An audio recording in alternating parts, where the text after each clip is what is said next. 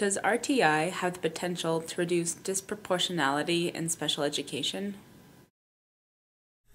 I think RTI has a great potential to reduce disproportionality.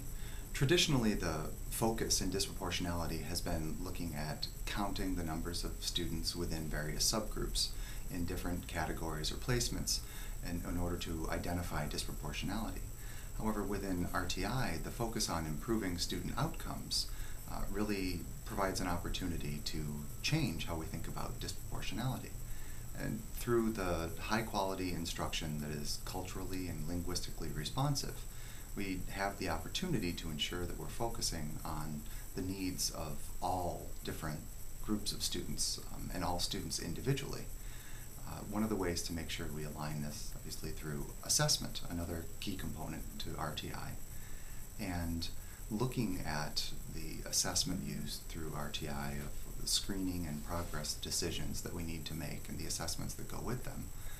It really gives us the opportunity to focus on the improved outcomes for individual students as well as various subgroups of students to make determinations of how they're performing.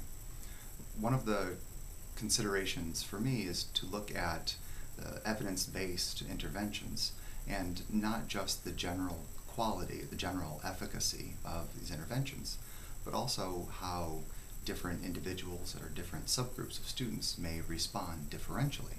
And so that when we're judging an evidence base, we're considering the different groups and, and how they may respond, rather than just considering the general efficacy of an intervention.